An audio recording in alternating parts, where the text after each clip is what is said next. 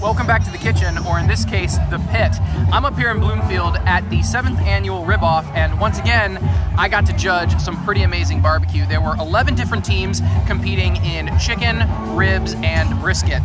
Uh, I did it in the morning, and then all afternoon we've got live music, we've got beer, we've got all the barbecue you can eat. You can see behind me here that there's a hopping crowd. Um, if you can't hear me really well, it's because there's a bunch of live music.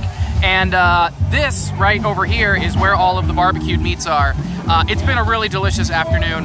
Some of the best stuff here has been some chicken with uh, some crispy skin on it, and really there's a there's a, a, pit back here where they took a whole pig off of the fire, and let me tell you, the uh, the sound off of the the skin around the uh, the leg, the thigh area, it was audible. It had a nice crack to it. Really good time.